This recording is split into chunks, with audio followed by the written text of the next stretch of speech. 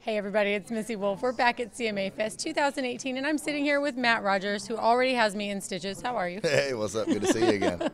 I love that you are here. How is your CMA Fest so far? Man, it's going great. It's going yeah. great. This is my, my busiest year, so I'm real excited. Uh, yeah. This, it's always fun to be a part of this stuff anyways, you know? This right. is like the electric time through through the whole city. You just feel the energy is palpable. So it's fun to be a part of it as a fan, as an artist, as, as all of it. So I'm so glad that you said that. As an artist, you are still a fan of other artists. 100 percent. It's it's so. Is there an exciting part of CMA Fest for you? Like, is there one part that you just look forward to more than the rest?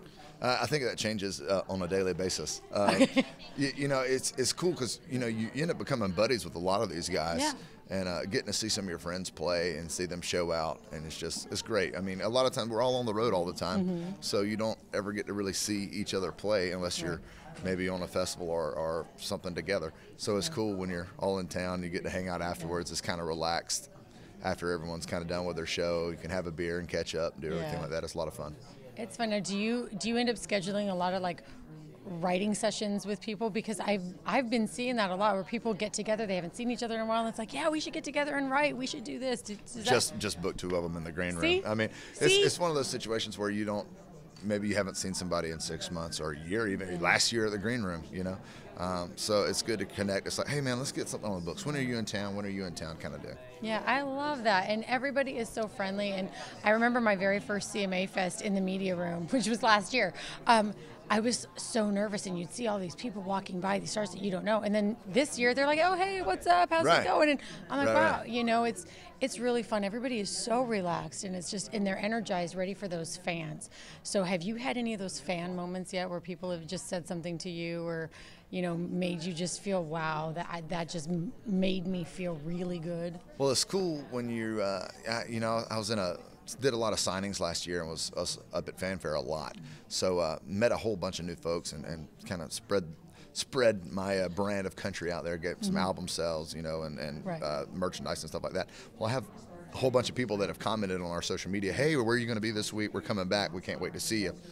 So uh, a lot of them have already kind of reserved on the CMA website on the two stages I'm playing that they're going to come see us and stuff like that. And that's see? that's what it's all about. You want yeah. them to, you know, at the end of the day, you know, you hope they like you and everything like that. But it's about the music, and, and you want yep. them to, to relate to the songs that you've written and, and the things that you're doing, and hopefully they enjoy that. So uh, looking yes. forward to performing for some of them. Absolutely. Now I know you have to be performing in the richest place on earth, right? That's right. Okay. Yeah, absolutely. Yeah, and you absolutely. guys here, so you know what it is. There you go. Can you see it?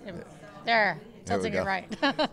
um, so I hear you have some information or some news about that music video. Yeah, we just mm-hmm. released a brand new music video for "Richest Place on Earth." Um, that's my probably my favorite song I've ever written. I wrote it by myself in the truck between Atlanta and Nashville. It's a personal story about you know, uh, you know, leaving a full time job and Macon Georgia, coming up here and chasing this dream, and um, you know, it, uh, the video is real special to me as well because the song being that important to me, I wanted the video to be as important, if not more. So uh, we filmed it 100% in my hometown of Eatonton, Georgia, with a 100% Eatonton, Georgia natives and 100% Eatonton, Georgia film crew. So uh, it's all hometown, and uh, that's that's what I tell tell them all the time when I get to go back home and play them or meet people. I say I just want to make my family and my hometown proud. There you go. So uh, that's what I hope hope we did with this video. I'm real proud of how it turned out. I'm sure you have made them all so very proud. And where can fans find you? Uh, MattRogersCountry.com. Uh, I've got links to all my social media there, tour dates, merchandise, any and everything you could ever want to know about me is probably there. But uh, Matt Rogers Country on all social medias as well. But uh, if you just go to the website, mattrogerscountry.com, there's little icons there. Click them, takes you right there. There you go. Easy follow, easy check out what we're doing, and we'd love to see you. So no excuses. No follow excuses. him, send him a message, and right. until next time, we'll see you soon. Thanks, guys.